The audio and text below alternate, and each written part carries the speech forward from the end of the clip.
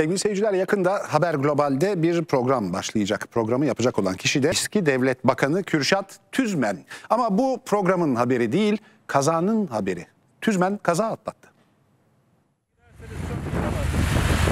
Haber Global ekranlarında başlayacak Kürşat Tüzmen'le Benim Şehrim programının çekimleri için Beypazarı'na gitmek üzere yola çıkan eski devlet bakanı Kürşat Tüzmen kaza atlattı. O anlarda kameralar kayıttaydı. Tüzmen'in de katıldığı test sürüş etkinliği motorcuların konvoy halinde gidişiyle başladı. Bir süre Ankara sokaklarında dolaşan konvoyda bir anlık dalgınlık az kalsın faciayla sonuçlanacaktı. Tüzmen konvoyun başında motorunu sürerken hemen arkasından gelen bir motorcu önündeki motora çarptı. Zincirleme kaza meydana geldi ve motorcular devrildi. Hemen motorunu kenara çeken Tüzmen ve diğer motorcular kaza yapan motorcuların yardımına koştu. Motorcuların hepsinin kasklı olması ve kazanın kimsenin burnunun bile kanamadan atlatılmasıyla herkes rahat bir nefes aldı. Eski Devlet Bakanı yeni Haber Global programcısı Kürşat Tüzmen'le birlikteyiz. Hoş geldiniz Sayın Tüzmen.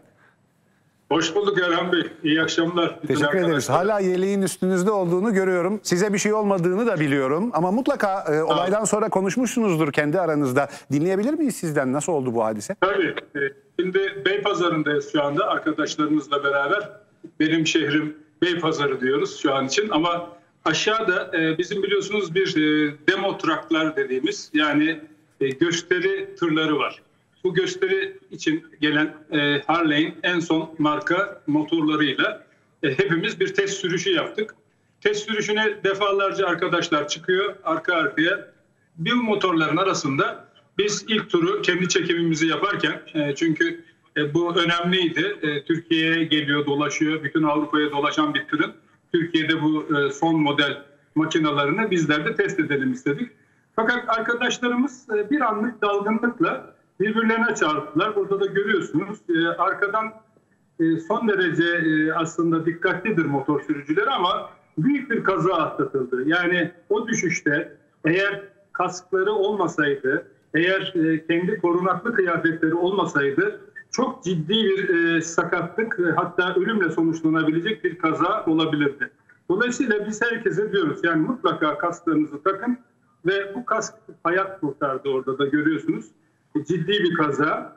Ancak e, tabii biz hemen indik arkadaşlarla beraber e, Ankara Harley Davidson ekipleri ve biz e, kestik bütün e, yolu e, ilk önce. Ondan sonra hemen trafik polislerimiz de geldi. Hızlı bir şekilde e, baktık arkadaşlarda bir şey yok. E, kenara aldık motorları ki e, araç trafiği rahatlıkla aksın.